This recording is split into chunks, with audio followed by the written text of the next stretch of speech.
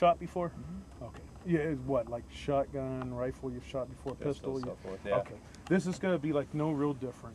Um, we're gonna put the stock out. It's where we would stand and where we wouldn't. If me and him were shooting over in that direction, he would not want to be where he is right now because all my shells are gonna go right in his face. So you gotta stagger different, you know, and that's the stuff we're gonna think about just for the movie, how close these guys are gonna be. Well, and also they're not supposed to be like uh, tactically trained. That's why they lose in the end. Even though they have ultimate firepower, basically, they still end up losing because they don't really know what they're doing in the movie. There you go. Whenever you're ready.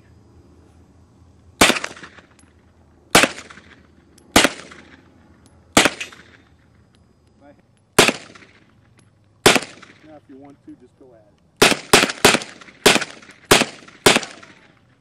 Cool. And then if you want to take finger off trigger.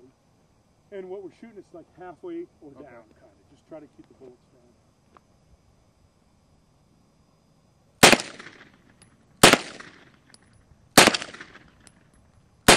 Let go if you want or whatever. When you got the, this around, okay, you're going to be full auto now.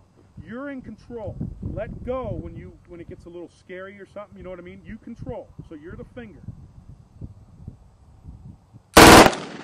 See what I mean? I kind of wants to go on you, but remember, you're the guy. You got it.